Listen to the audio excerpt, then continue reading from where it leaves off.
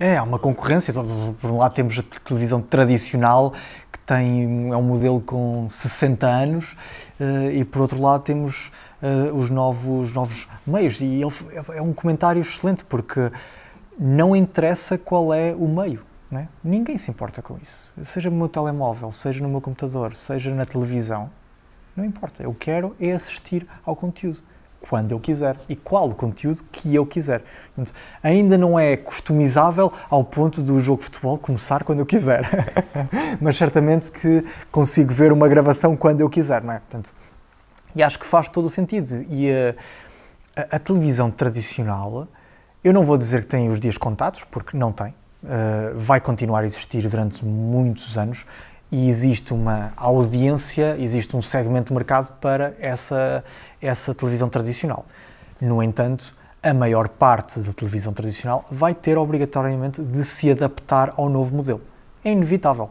É inevitável. Eu pessoalmente não vejo, não sei se tu vês, mas eu pessoalmente não vejo. Uh, eu sei que uh, a maior parte da minha geração pouco ou nada vê e sei ainda mais que as novas gerações, zero. Não estão minimamente interessadas nisso.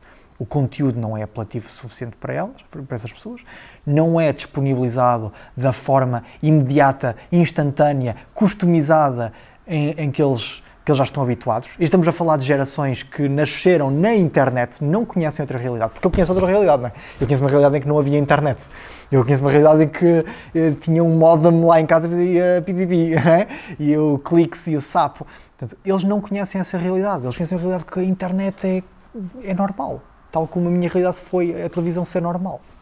Portanto, eles não vão admitir que as coisas sejam diferentes daquilo que, da forma como eles já conhecem. E essa forma é o, o que está nos bolsos das calças deles hoje em dia. É?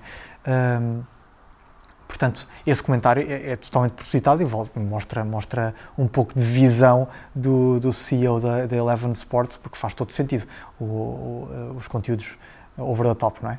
O OTT. Eu acho.